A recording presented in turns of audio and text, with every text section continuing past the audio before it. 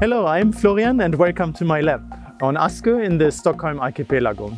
My research focuses on greenhouse gas emissions from coastal habitats in the Baltic Sea. Now, if you think about greenhouse gases, you think of human emissions mainly, such as when you're driving a car or if you're flying by plane and you emit, for example, CO2 into the atmosphere. Now, in fact, greenhouse gases are also emitted from natural coastal habitats like we have here in the Baltic Sea, here on Askö or in the wider Stockholm archipelago. These gases, for example carbon dioxide and methane, are released from the sediments into the water and then into the atmosphere.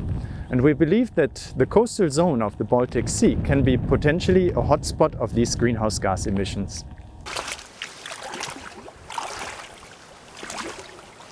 Here on the island of Askö, we have the perfect conditions to measure greenhouse gas emissions from different coastal habitats. We have algae, we have reed beds, we have soft sediments, all of which can produce these greenhouse gases such as carbon dioxide and methane.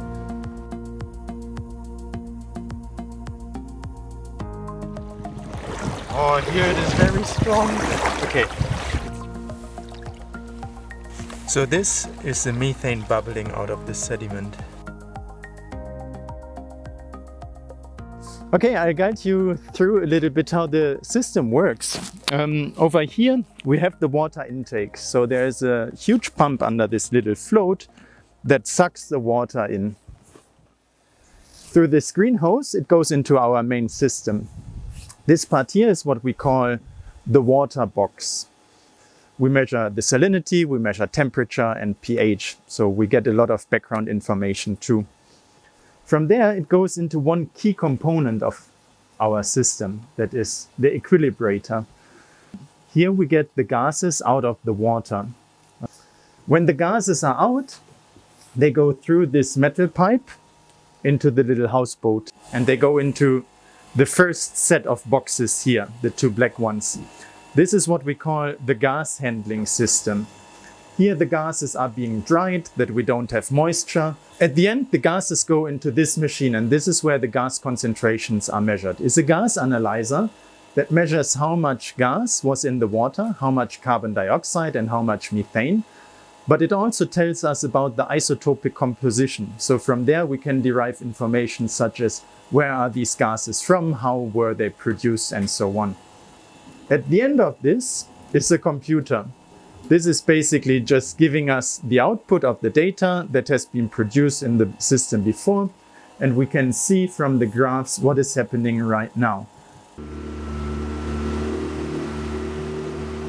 So why do we study this in the Baltic Sea context? Now there are two things. First of all, these greenhouse gases have a direct effect on our world's climate. If they are being released into the atmosphere, they can potentially enhance climate change. They absorb and re-emit heat in the atmosphere. Secondly, it can have a self-reinforcing effect. If you have the gases coming out of the water into the atmosphere and the atmosphere heats faster, you have a heating of the ocean as well. When the water is getting warmer, these greenhouse gas emissions can be higher because microbial communities are more active and release potentially more methane and carbon dioxide. So with this research, we try to find more answers on how the Baltic Sea is actually affecting the climate and on the other hand, how the climate is affecting the Baltic Sea.